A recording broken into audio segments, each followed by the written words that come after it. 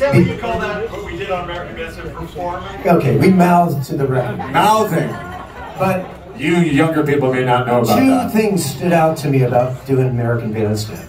And one of them was for apparently like one of the only times ever, Dick Clark, Tommy jumped on his back while he was wearing a mask and scared the shit out of him. And he, they had to actually do a retake, which never happens. That was one. And the, the other thing that happened was because we were pretty much the same age as the audience, we got to sit in the bleachers, you know, with all the kids who are the dancers. And so I'm sitting there, and a kid just hands me this mimeograph sheet. Mimeograph, now you know how old I'm Okay. And what it was was a full-on scandal sheet about all the kids in on bandstand, like who was having sex with who, and who was you know drunk on the dance floor, who was such a crappy dancer they needed to be kicked out. It was really, I mean, I was just like, oh my god, this is incredible. Then, as I'm sitting there, and I'm not kidding, a giant bag full of Quaaludes gets passed down and I am totally not kidding. And and I'm like going, my my life is ruined. My, my, my oh everything I believed in is completely gone. But man, that was awesome. that was completely awesome. Um, I've never told that story. Before, but it was pretty funny. And then the, the years! sorry. 44 years telling good stories.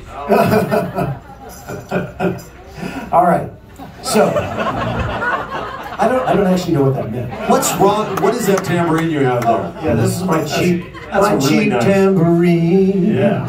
Uh, you know, I had two requirements. One that it'd be cheap, one that it'd be light. Sounding good, mm, not so much. Let's hear it. Let's hear it. Nice. Good for mouthing.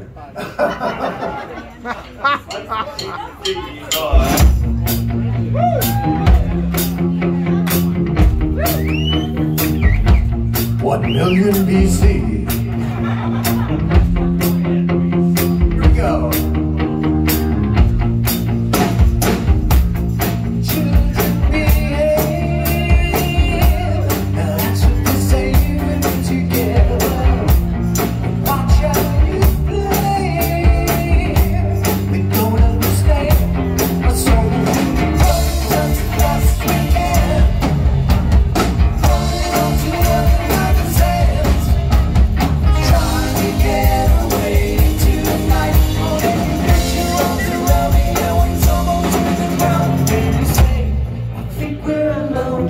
There doesn't seem to be anyone around.